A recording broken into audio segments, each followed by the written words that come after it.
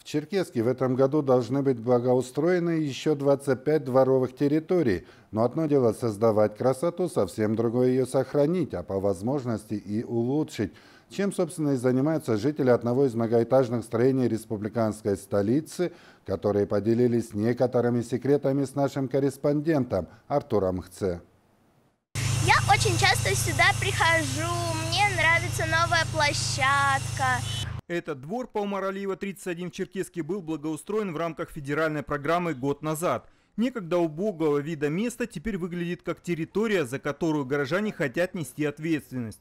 Как говорит председатель Совета дома Земфира Урусова, в былые времена сюда после работы даже не хотелось возвращаться. Настолько некомфортно люди себя здесь чувствовали. Раньше, вы знаете, нельзя было даже пройти здесь всего. Две-три машины вот тут стояли. Мусорные контейнеры у нас тут стояли вот здесь, четыре подъезда. Машина даже не могла забрать мусор. Вот, было очень тяжело, люди жаловались. Участие в федеральной программе позволило преобразить территорию – но одно дело потребительски использовать то, что для вас создано, совсем другое, если вы вкладываете душу в предоставленное городскими властями. Оказавшись в этом дворе, ощущаешь себя как в небольшой оранжерее. Настолько красиво, аккуратно выглядит полисадник вдоль дома. Многого удалось добиться как раз благодаря совместному труду жильцов многоэтажки, разумеется, под руководством Земфиры Урусовой. Здесь у нас розы цветут, видите, разные розы. Вот. Здесь роза у нас, вьющаяся роза. Mm. А здесь тоже вот эта желтая роза, она тоже как бы это, mm.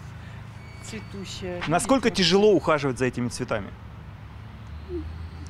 В этом году почему-то было очень много тли. Мы, вы знаете, несколько раз опрыскивали. Ну, сейчас они, смотрите, отошли, вроде бы нормально. И что главное, хорошо. радует. Да. Люди довольны, конечно, что у нас розы такие цветут. Собственникам дома удалось добавить жизни благоустроенный для них двор. Такой опыт, несомненно, пригодился бы и другим горожанам, в том числе тем, чьи территории строительная техника посетила в нынешнем году. По федеральной программе «Комфортная городская среда» в этом году в Черкеске будет благоустроено 25 придомовых территорий.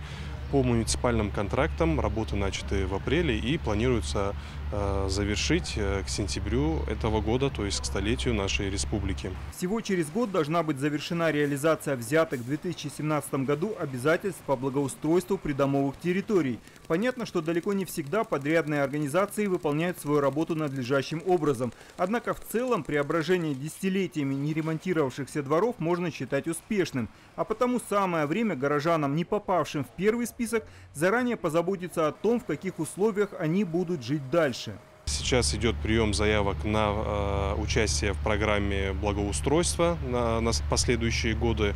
Она начата 20 июня, будет продолжаться до 20 июля этого года. А, для этого нужно подойти а, по адресу Тургеневская, 78, кабинет 3, и там вам предоставят а, список документов, которые необходим для подачи в участие в программе. Затем все собранные заявки будет анализировать специальная комиссия. Дворовые территории, действительно нуждающиеся в благоустройстве, непременно попадут в обновленный список, примут участие в программе. Однако люди должны помнить, что они сами должны подать заявку до 20 июля. За них это делать никто не будет. Артур Мхце, Роберт Жигутанов, Вести, Карачаев-Черкесия.